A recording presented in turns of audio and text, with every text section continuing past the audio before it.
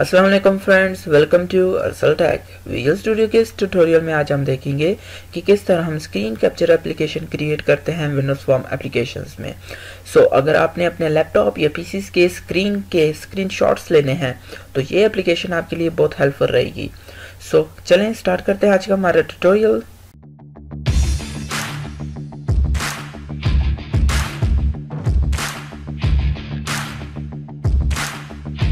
सबसे पहले हम एक न्यू प्रोजेक्ट क्रिएट कर लेते हैं। यहाँ से मैं नेम इसका चेंज कर लेता हूँ screen capture application okay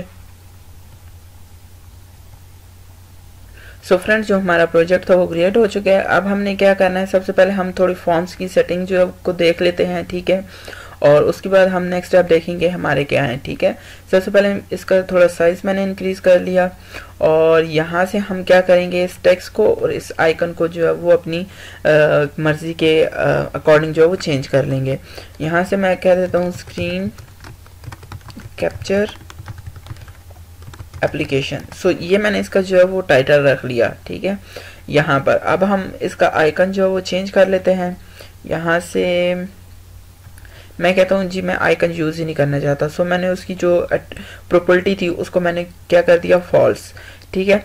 सो अब हमने क्या करना है? अब हम यहाँ पर एक यूज़ करें कि पिक्चर बॉक्स और दो हम यूज़ करेंगे बटन्स ठीक है? यहाँ सबसे पहले मैं दो बटन्स जो है वो ले लेता हूँ। यहाँ से एक बटन लिया।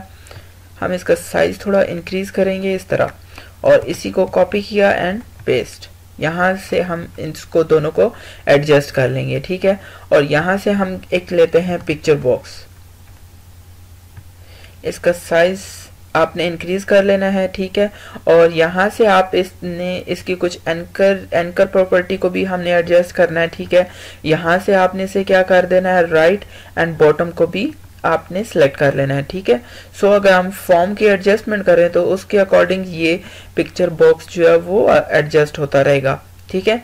सो so, उसके बाद आपने क्या करना है कि यहाँ से मैं बॉर्डर स्टाइल इसका क्या कर देता हूँ? फिक्स सिंगल सो इसके जो बॉर्डर हैं वो मुझे यहाँ पर जो है वो शो हो जाएँगे ठीक है? सो so, अब इन बटन्स पर आते हैं और सबसे पहले इस बटन का क्या करता हूँ मैं? टेक्स्ट रिमूव करता हूँ। ठीक है? और मैं यहाँ से क्या करता हूँ कि बैकग्राउंड इसका जो है वो एक इमेज रख लेता हूँ ठीक है? यहाँ से बैकग्राउंड इमेज जो है वो सिलेक्ट कर लेता हूँ। इम्पोर्ट और यहाँ मैंने कुछ इमेज जो है वो सिलेक्ट की हुई है ठीक है? अब कोई भी इमेज जो है वो आप यूज़ कर सकते हैं। मैं यहाँ इस फ्लॉप की ए, सेव का जो आइकन है वो मैं यूज़ करना चाहता हूँ ठीक है? यहाँ से मैंने वो सिलेक्ट किया। और यहाँ से आपने क्या करना है कि ये जो फ्लैट स्टाइल है, इसको आपने चेंज करना, कर देना है। यहाँ से आप फ्लैट सेलेक्ट कर लेंगे और यहाँ पर बैकग्राउंड इमेज लेआउट आपने इसको चेंज करके और यहाँ जूम सेलेक्ट कर लेना है, ठीक है? सो जो ही आप ये दो प्रॉपर्टी सेट करेंगे तो आप देख सकते हैं जो आइकन होगा वो यहाँ पर शो हो जाएगा, ठीक है? सो अब इसी तरह नेक्स्ट बटन को भी हम देखेंगे। इसका टेक्स्ट रिमूव करेंगे सबसे पहले। और यहाँ से क्या करेंगे हम इसकी बैकग्राउंड इमेज जो है वो सिलेक्ट कर लेंगे। यहाँ से ठीक है? और इसी तरह हम यहाँ से भी इसको जूम सेलेक्ट करेंगे और यहाँ फ्लैट जो स्टाइल होगा इसका हम वो यहाँ से चेंज कर लेंगे ठीक है? सो so, उसके बाद हमने क्या करना है? उसके बाद हम एक जो है वो सेव फ़ाइल डायलॉग जो है वो यूज़ करेंगे। सो so, आपने वो सिलेक्ट करना है और अपने विंडोज़ फॉर्म एप्लीकेशन में इसको ऐड कर लेना है। यहाँ से मैं इसका जो है वो नेम चेंज कर लेता हूँ। सेव एफ़ डी ठीक है? सेव फ़ाइल डायलॉग आप कोई भी नेम इसका यूज़ कर लेते हैं क्योंकि ये यूनिक होता है और आपने इससे ही अपने आ, किसी भी आ, क्लास के अंदर इसको जो है वो एक्सेस कर सकते हैं इसको। ठीक है? सो हमारा जो डिज़ाइन था लेआउट था, वो तो कंप्लीट हो चुका है। अब हम चलते हैं अपने कोड की तरफ़। सबसे पहले आपने क्या करना है, इसके ऊपर जो है वो आपने एक इवेंट क्रिएट करना है, ठीक है? आप डबल टैप भी कर सकते हैं इस बटन के ऊपर और यहाँ से भी आप जो है वो इवेंट जो है जनरेट कर सकते हैं, ठीक है? सो हमारा मेथड जो है वो यहाँ पर क्रिएट हो चुका है। अब हमने इसके अंदर क्या करना है, हम अपनी इमेज को जो है वो स्क्रीनशॉट को कैप्चर करेंगे, ठीक है? सो उसके लिए आपने क्या करना है? यहाँ से सबसे पहले इस फॉर्म को हाइड करना है, ठीक है? This dot hide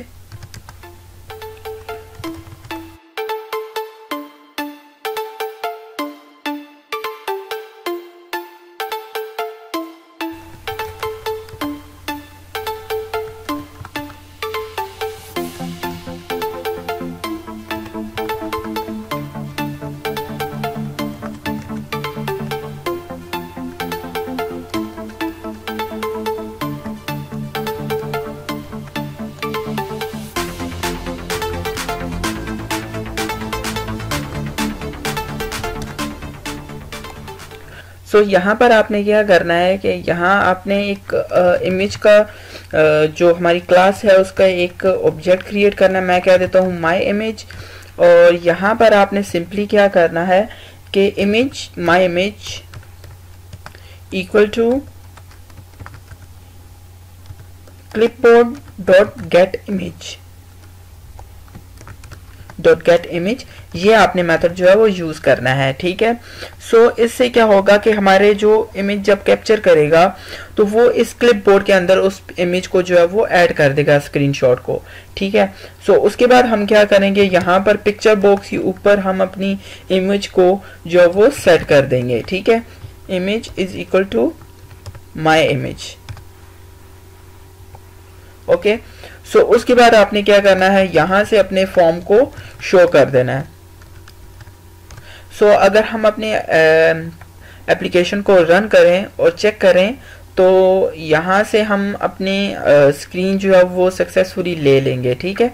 यहाँ से अगर मैं इस बटन पर क्लिक करता हूँ और यहाँ आप देख सकते हैं कि इसने जो है वो यहाँ से इमेज कैप्चर की और हमारे पिक्चर बॉक्स में जो है वो ऐड कर दी। लेकिन अब हमने यहाँ पर कुछ सेटिंग्स करनी है ठीक है? सो आप देख सकते हैं मेरी होल स्क्रीन की इसने इमेज को कैप्चर किया स्क्रीन कैप्चर की लेकिन यहाँ पर हमारे पास जो है वो उसका साइज़ फिट नहीं आ रहा। सो हम इसको जो है वो चेंज कर लेते हैं। सो so, आप अपने लेआउट में आएँगे और यहाँ से पिक्चर बॉक्स जो होगा इसका साइज़ मोड आपने क्या सिलेक्ट कर लेना है? जूम अगर अगेन हम अपनी एप्लीकेशन को रन करें तो यहाँ आप देख सकते हैं अगर मैंने अब कैप्चर की स्क्रीन तो आपके सामने यहाँ पर जो है वो फिट आ रही है फॉर्म के ऊपर पिक्चर बॉक्स के अंदर ठीक है? सो so, अब हम इन बटन्स का बॉर्डर जो है वो रिमूव कर देते हैं क्योंकि हमें ये एक बेटर लुक प्रोवाइड नहीं कर रहा। सो so, उसके लिए आपने अगेन अपने फॉर्म की तरफ़ जाना है ठीक है?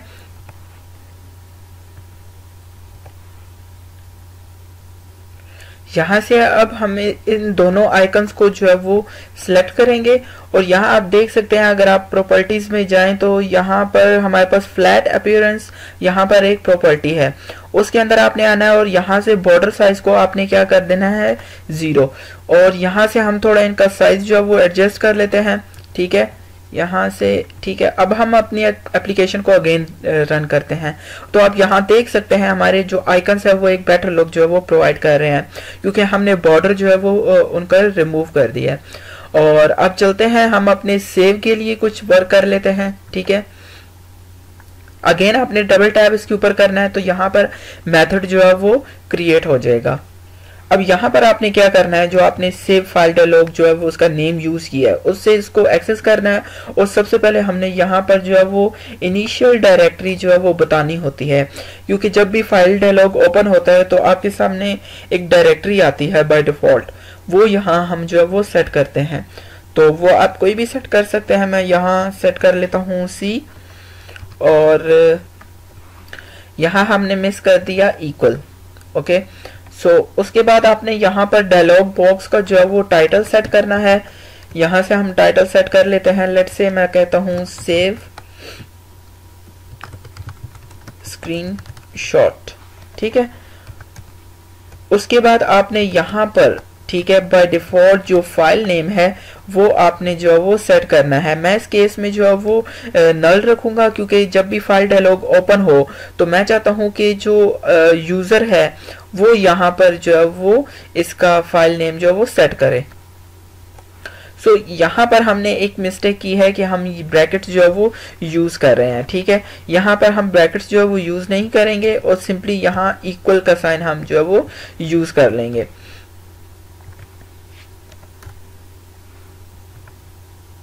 ठीक है? सो नेक्स्ट स्टेप हमारा क्या है कि हमने यहाँ पर जो है वो एक फ़िल्टर यूज़ करना है, ठीक है? मैं आपको इसका यूज़ जो है वो बता देता हूँ। ये हमारे लिए किस तरह यूज़फुल है वो मैं आपको जो है वो इस तरह बता देता हूँ, ठीक है? जब आपका फ़ाइल डायलॉग ओपन होगा तो आपकी इमेज की जो है पिक्चर की कुछ एक्सटेंशंस होंगी। वो जेपीजी भी हो सकती है पीएनजी भी हो सकती है गिफ भी हो सकती है। सो ये फ़िल्टर आपके वही हैं, ठीक है? और हम चाहते हैं कि हम जो इमेज जो है, वो स्क्रीनशॉट हो हमारा, वो हम सेव करें अपना।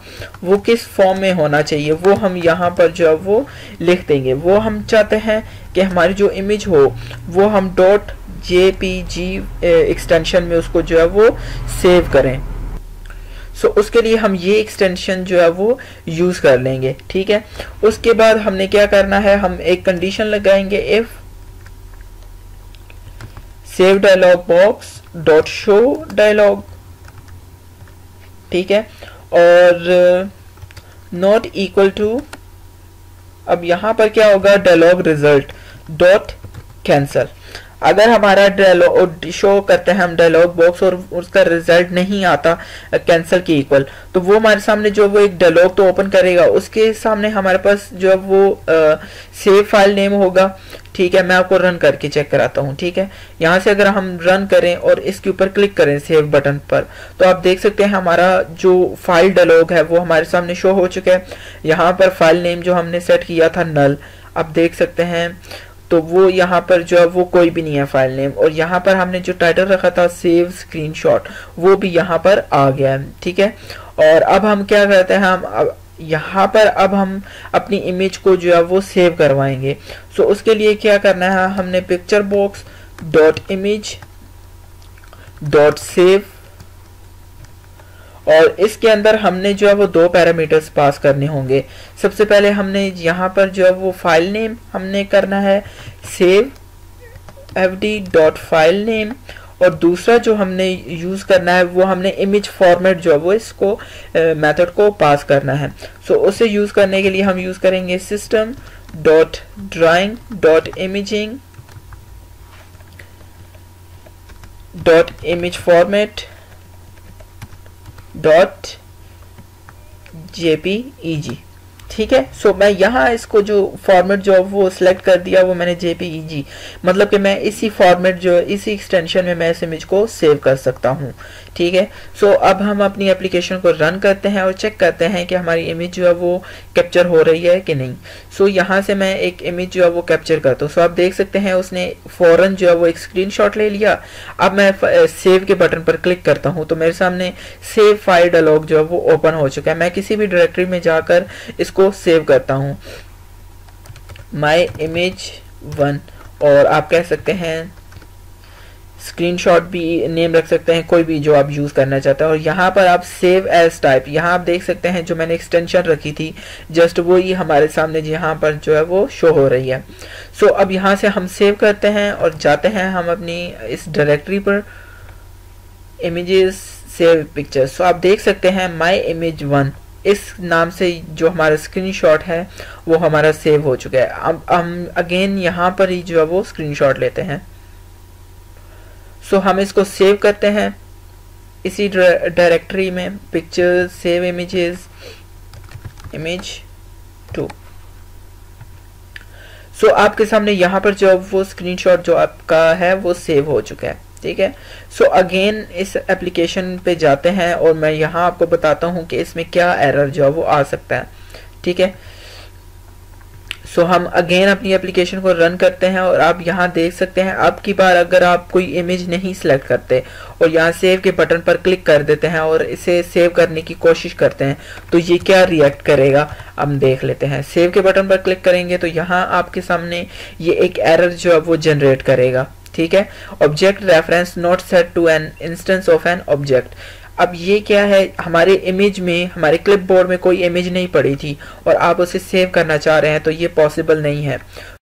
सो so, उसको हैंडल करने के लिए हम यहाँ पर जो है वो कुछ कंडीशंस अप्लाई कर देंगे ठीक है? सो so, हम यहाँ पर कंडीशन लगाएँगे if image not equal to null okay अगर हमारी इमेज जो है वो नल नहीं होगी, ठीक है? सो वो क्या करेगा? वो हमारे इमेज को जो है वो सेव फ़ाइल डायलॉग से जो है वो सेव कर देगा। यहाँ पर हमारी जो आएगी माई इमेज आएगी, ठीक है? और यहाँ पर अब हमने अल्स में क्या कर देना है? कोई भी हम मैसेज जो है वो जनरेट करवा देंगे कि जो मैसेज बॉक्स हम यूज़ करते हुए हम कहेंगे कि आप सबसे पहले पिक्चर लें और फिर वो जो है वो सेव कर सकते हैं। यहाँ से हम डायलॉग बॉक्स यूज़ कर लेंगे। Please capture image first so again हम अपनी एप्लीकेशन पर रन करते हैं यहाँ से। सो so, हमारी जो एप्लीकेशन है वो रन हो चुकी है। अब हम सेव के बटन पर क्लिक करते हैं और हम अपनी इमेज को सेव करते हैं ठीक है? जो हमने कैप्चर ही नहीं की। मैं यहाँ से उसे कह देता हूँ इमेज थ्री और यहाँ से सेव करता हूँ। तो मेरे पास यहाँ पर मैसेज बॉक्स अपीयर हो गया है। प्लीज़ कैप्चर इमेज फ़र्स्ट ठीक है? सो so, अब मैं यहाँ से जो है वो स्क्रीनशॉट लूँगा। और यहाँ आप देख सकते हैं मेरे पास इमेज जो है वो स्क्रीनशॉट मेरा यहाँ पर इमेज पिक्चर बॉक्स में जो है वो सेट हो चुका है।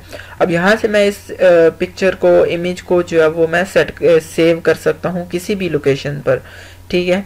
और यहाँ से मैं इसे स्क्रीन शॉट ठीक है? सो मैं इसको जो है वो सेव कर देता हूँ। और यहाँ पर आप देख सकते हैं ये हमारे पास जो वो इमेज जो हमारी स्क्रीनशॉट थी वो यहाँ पर जो वो सेव हो चुकी है। ठीक है? सो so, इस तरह आप इस एप्लीकेशन को यूज़ कर सकते हैं। सो so, ये था आज का हमारा ट्यूटोरियल जिसमें हमने देखा है कि किस तरह हम स्क्रीन कैप्चर एप्लीकेशन को क्रिएट करते हैं। सो so, अगर आपको कोई प्रॉब्लम या कोई क्यूरी हुई तो कमेंट्स में मुझसे लाजमी पूछ लीजिएगा। अगली वीडियो तक असल की तरफ़ से अल्लाह हाफिज़।